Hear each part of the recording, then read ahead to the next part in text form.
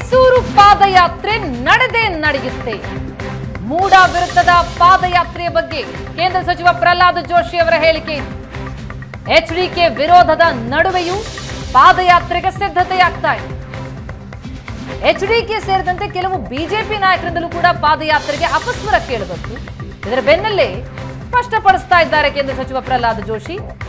ಪಾದಯಾತ್ರೆ ನಡೆದೇ ನಡೆಯುತ್ತೆ ಅಂತಿದ್ದಾರೆ. ಕುಮಾರಸ್ವಾಮಿ ಅವರ ಜೊತೆ ಮಾತುಕತೆ ನಡೆಸ್ತೇವೆ. ಯತ್ನಾಳ್ ರಮೇಶ್ ಜಾರಕಿಹೊಳಿ ಅವರ ಜೊತೆಯೂ ಮಾತುಕತೆಯನ್ನ ನಡೆಸಲಾಗ್ತಾ ಇದೆ ಅಂತಂದ್ರು ಪ್ರಹ್ಲಾದ್ ಜೋಶಿ. ಎಚ್ ಡಿಕೆ ಆಕ್ಷೇಪಿಸಿದ್ರು ಪಾದಯಾತ್ರೆಗೆ, ಅದರ ಬೆನ್ನಲ್ಲೇ ಪ್ರಹ್ಲಾದ್ ಜೋಶಿ ಅವರ ಪ್ರತಿಕ್ರಿಯೆ. ಸರ್, ಈಗ ಪಾದಯಾತ್ರೆ ವಿಚಾರದಲ್ಲಿ ಸಾಕಷ್ಟು ಗೊಂದಲಗಳು ಏರ್ಪಟ್ಟಿದ್ದಾವೆ. ಕುಮಾರಸ್ವಾಮಿ ಅವ್ರ ನೈತಿಕ ಬೆಂಬಲವೂ ಕೂಡ ನಾವು ಕೊಡಲ್ಲ ಅನ್ನೋ ಮಾತನ್ನು ಮಾತನ್ನ ಹೇಳಿದ್ದಾರೆ. ಪ್ರೀತಮ್ ಗೌಡ ಅವ್ರನ್ನ ಯಾಕೆ ಕರ್ಕೊಂಬಂದ್ರು ಆ ವೇದಿಕೆಗೆ ಅನ್ನೋ ರೀತಿಯಲ್ಲಿ ಅಸಮಾಧಾನ ವ್ಯಕ್ತಪಡಿಸಿದ್ದಾರೆ. ಏನ್ ಪಾದಯಾತ್ರೆ ನಡೆಯುತ್ತಾ ನಡೆಯಲ್ವಾ sir?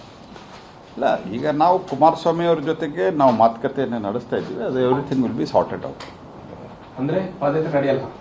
Everything will be sorted out ಪಾದಯಾತ್ರೆ ನಡೀತದೆ. Everything will be sorted out Kumaraswamy ಅವ್ರ ಜೊತೆಗೆ ನಾವು ಮಾತುಕತೆಯನ್ನು ಮಾಡಿ ಮುಂದುವರಿಸ್ತೀವಿ. ಕುಮಾರಸ್ವಾಮಿ ಅವರು ಕುಮಾರಸ್ವಾಮಿ ಅವ್ರ ಜೊತೆಗೆ ಮಾತುಕತೆ ಮಾಡಿ ಮುಂದುವರಿಸ್ತೀವಿ.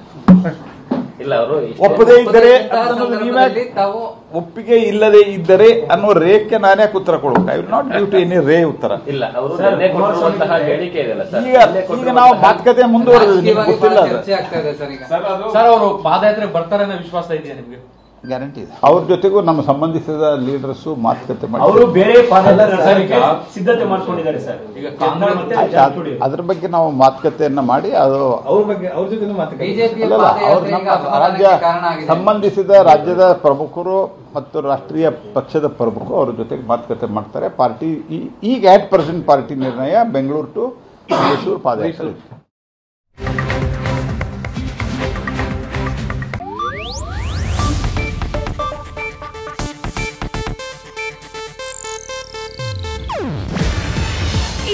ಏಷ್ಯಾನೆಟ್ ನ್ಯೂಸ್ ನೆಟ್ವರ್ಕ್ ಪ್ರಸ್ತುತಿ.